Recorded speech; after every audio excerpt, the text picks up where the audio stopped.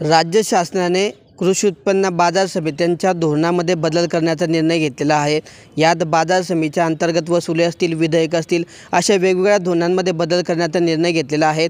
आणि याविरोधात आज या राज्य शासनाच्या धोर धोरणातील बदल करण्याच्या निर्णयाविरुद्ध आज राज्यभरातल्या संपूर्ण बाजार समित्यांनी एक दिवसीय बंद ठेवण्याचा निर्णय घेतलेला आहे. आपण आता जळगावच्या बाजार समितीमध्ये आहोत. जळगाव जिल्ह्यातल्या बारा बाजार समित्यांनी सुद्धा या ठिकाणी बंदचा बंद पाळण्याचा निर्णय घेतलेला आहे.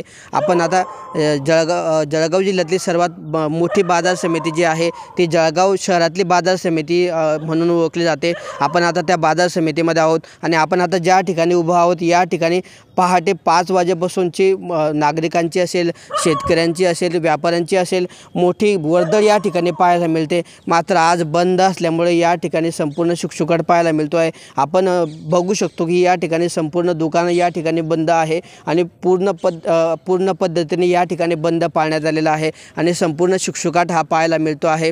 एकंदरीत जळगाव जिल्ह्यामध्ये बारा बाजार समित्या आहेत. त्यात सर्वात मोठी बाजार समिती जळगाव जळगाव शहरातली बाजार समिती आहे. जळगाव शहरातल्या बाजार समितीची जवळपास तीन ते चार कोटी रुपयांची रोजची उलाढाल होत असते. या ठिकाणी सोलापूर असेल छत्रपती संभाजीनगर असेल बुलढाणा असेल अशा वेगवेगळ्या जिल्ह्यांमधून हा भाजीपाला असेल किंवा वेगवेगळ्या वस्तू या ठिकाणी दाखल होत असतात. मात्र आज बंद असल्यामुळे या ठिकाणी ठिकाणी सु शुकशुकाट पाहायला मिळतो आहे.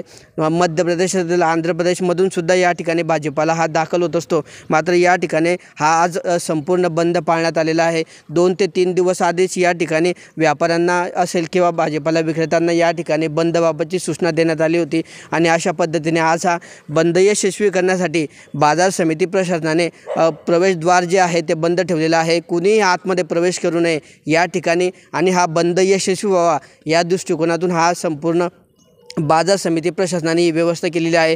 काही बाजार काही शेतकऱ्यांना असेल किंवा व्यापाऱ्यांना असेल या बंदबाबतची सूचना मिळाली नाही. त्यामुळे त्यांनी ते आज बाजार समितीमध्ये दाखल झाले. मात्र त्या ऐनवेळी त्यांना या ठिकाणी बंदची सूचना मिळाल्यानंतर त्यांनी गेटजवळच आपला भाजीपाला असेल तो त्या ठिकाणी उतरवला आहे. आणि त्याच ठिकाणी काही किरकोळ विक्रेत्यांच्या माध्यमातून तो भाजीपाला विक्री होत असल्याचं पाहायला मिळतं आहे.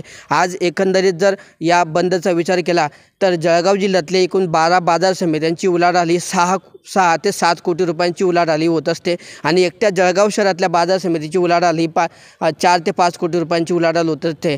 मात्र आजच्या ह्या एक दिवसाच्या बंदमुळे ही रोजची जी कोट्यवधी रुपयांची उलाढाल आहे ही एकंदरीत ठप्प होणार आहे. आणि या ठिकाणाहून जो भाजीपाला किरकोळ बाजार विक्रेत्यांकडे जातो तो सुद्धा पोहोचणार नसल्यामुळे आज किरकोळ विक्रेत्यांची भाजीपाला विक्रेत्यांची दुकानंसुद्धा आज बंद राहणार आहे. एकंदरीतच आज एक दिवसाचा बंद असला तरी ते काहीसा प्रमाण या ठिकाणी हा होणार आहे. आणि जवळपास कोट्यवधी रुपयाची उलाढाली एकट्या जळगाव जिल्ह्याची आज ही ठप्प होणार असल्याचं आपल्याला पाहायला मिळतं आहे. नेमकं आता बाजार समित्यांच्या आजच्या एक दिवसाच्या बंदनंतर राज्य शासन नेमकं काय भूमिका घेतं हे सुद्धा पाहणं महत्त्वाचं असणार आहे. Kishor Patil T V nine Marathi Jalgaon.